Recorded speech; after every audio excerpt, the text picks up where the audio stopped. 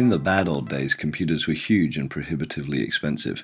There was no friendly user interface, and all data had to be fed in and read out on paper.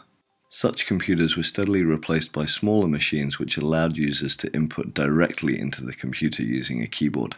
Pioneering work done at Xerox in the 1970s led to the development of the Graphical User Interface, or GUI, a system which for the first time let novice users easily control a computer. Borrowed heavily by Apple in their Macintosh computers, the GUI remains today the primary way that we use computers, although it is being changed constantly by the increasing use of touch. WIMP is a useful mnemonic for remembering the main items that go into a GUI interface windows, icons, menus, and pointers.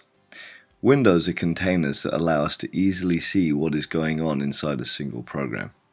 They allow us to have multiple programs running at the same time and to move these around or hide them as we need. Icons provide us a way to visualize files and folders as well as applications. We can see these laid out in a variety of ways and we can manipulate them by dragging and dropping and double clicking on them. Menus allow us to hide many options under a single title and expose them as a drop-down. These can be used as context menus to show things specific to a particular place.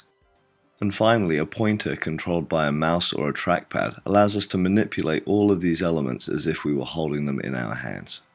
Understanding these fundamentals of how a graphical user interface works is really important to getting the most out of your computer.